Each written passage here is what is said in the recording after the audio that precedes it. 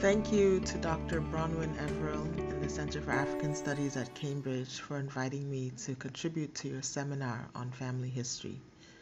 This invitation gave me a welcome opportunity to step back and reflect on how family history has informed my own work. Family history has been an inspiration for my curiosity. It is also an approach to historical understanding that I champion for its accessibility, and it has been a source base for my current project. My current project is a history of migration, urban culture, and the remaking of the Yoruba in the 19th century port city of Lagos, West Africa.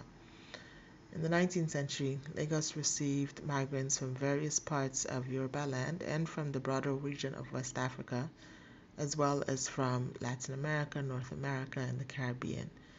In my current project, I'm exploring the implications of what the convergence of these groups meant for the making of urban culture in the city of Lagos. Like many people, family history gave the spark to my initial curiosity about history. It probably also informed my disposition towards the social history approach which is one that attends to mass experience and the lives of ordinary people. It all began when I was about 10 years old, and my father took a trip to Brazil. And he came back talking about how the people he met in the northern part of the country were quote unquote like us. They ate the same foods and they spoke our language. And in the course of explaining to me how that could be, my parents presented the first inkling I had of the Atlantic slave trade and its role in the making of the African diaspora. These revelations were coupled with a story about how certain people who were taken to the Americas as captives ultimately came back to Africa, and that my father's family were descended from such people. This was a deeply affecting moment of wonder, excitement, bittersweetness.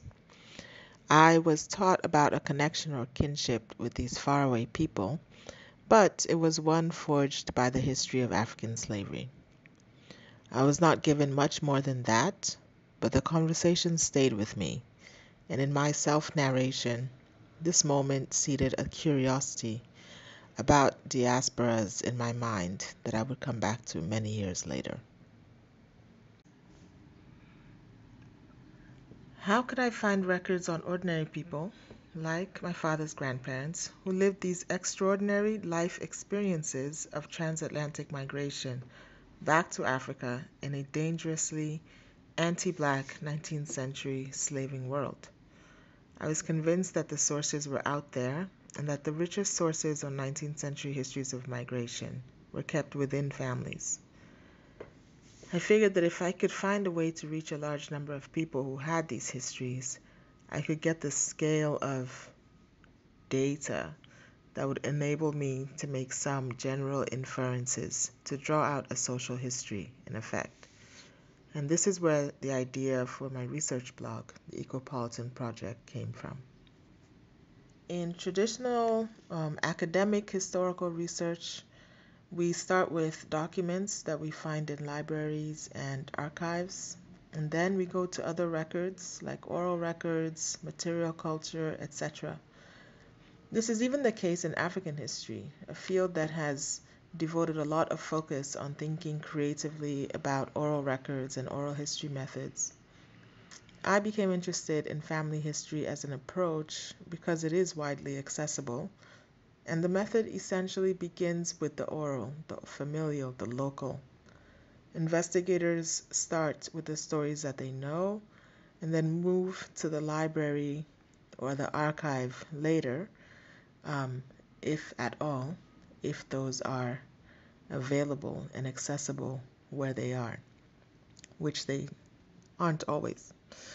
So what I'm doing is less uh, genealogical and more archival, but not in the sense of collecting and keeping archives, but more in the sense of trying to uncover where the archives are located. Family histories have many functions that they can serve in the lives or the minds of those whom they are directly related to. Social media comes into play as an avenue or vehicle for mutual sharing of family history records. For me, as an academic researcher, I come across these records in libraries and archives all the time, records that are related to people's family histories. And I realize that I can share these with family historians who want to know more about their past. For my part, as I am also interested to learn their family histories, what stories people know about their ancestors, how these stories came to them, and how their family histories of migration in particular informed their individual self understanding within a broader national and transnational communities.